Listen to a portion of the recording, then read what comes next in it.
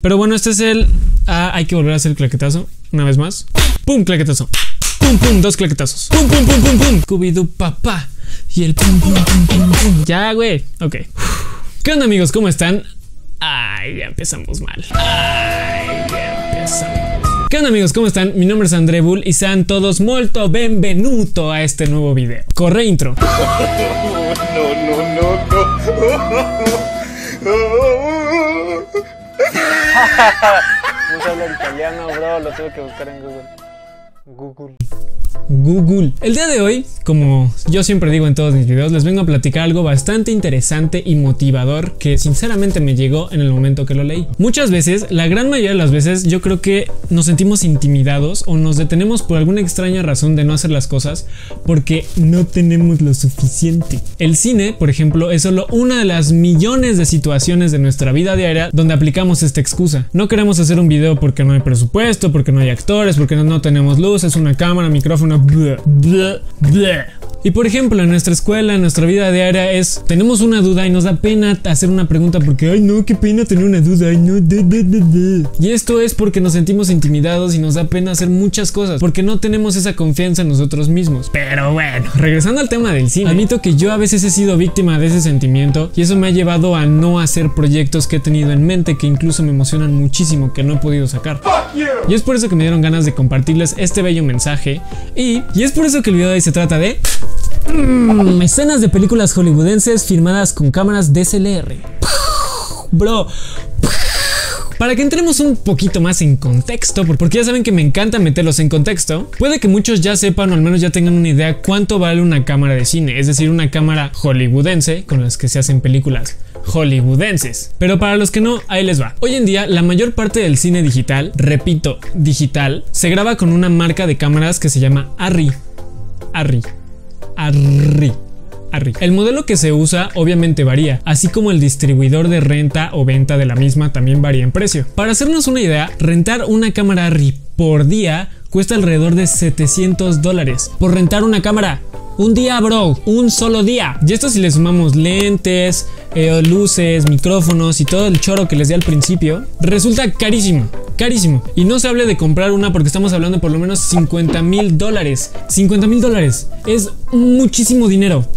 Mucho. Y eso que estoy hablando del modelo más chiquito, así, el más comprimido, el más sencillo de Harry. Es una caja así, sin lentes, sin soporte, sin nada, ni siquiera sin pila. Creo que ni siquiera trae caja de cartón. O sea, te la dan así como, toma tu cámara sencilla. Es una carrera muy costosa, bro. Pero enfócame.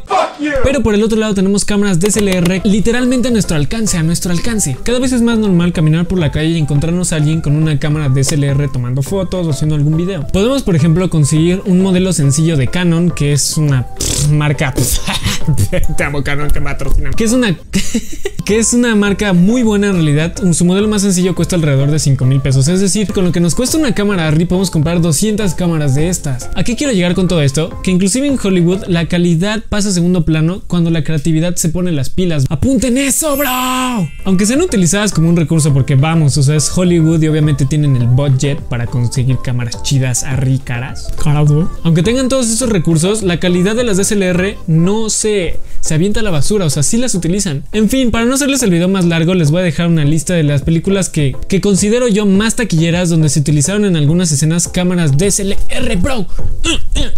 Cada vez que haga un dab, quiero que aparezca la palabra DSLR con diferente letra, ¿ok?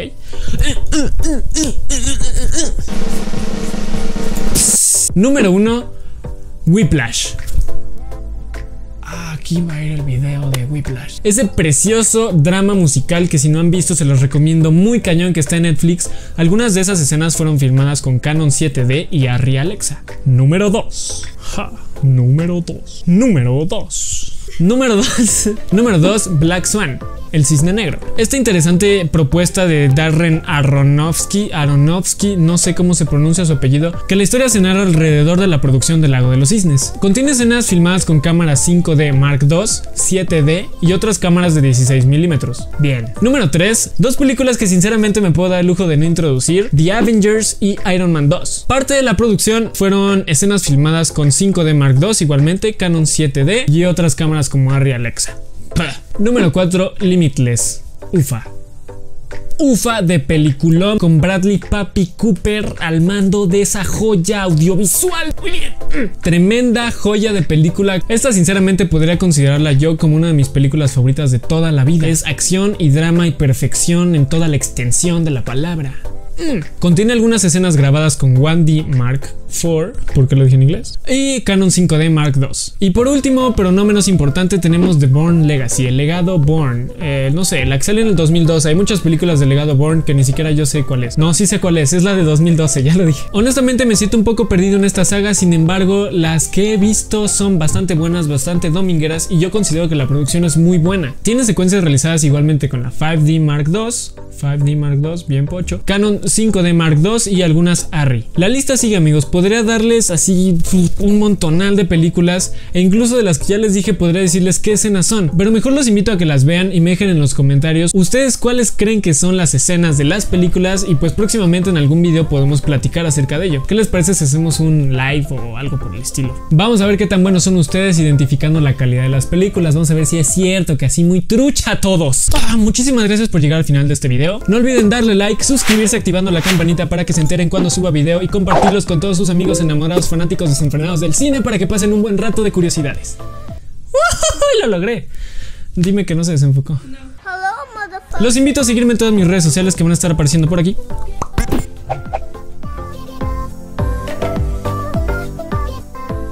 ¿Ok? De igual manera van a estar apareciendo en la caja de descripción para que vayan, darle clic, luego me den follow, me escriban, qué buen video, gracias por compartirnos acerca del cine y pues platiquemos un ratito, ¿no? Y amigos usuarios de Final Cut, mucho ojo en mi Twitter y en mi Instagram porque próximamente les estaré dejando pues vaya que unas sorpresas que les van a gustar mucho a todos aquellos que hacen videos en YouTube o videos en general, ¿va? Twitter, Instagram, ¿va? Va. En fin amigos, mi nombre es Andrebull. Para los que no me conocían, para los que ya me conocen, mi nombre sigue siendo Andrebull. Nos vemos en el próximo video. Bye. Eh, no tengo nada que aventar, pero ay, córtalo. Eh, menú. Menú chido ahora.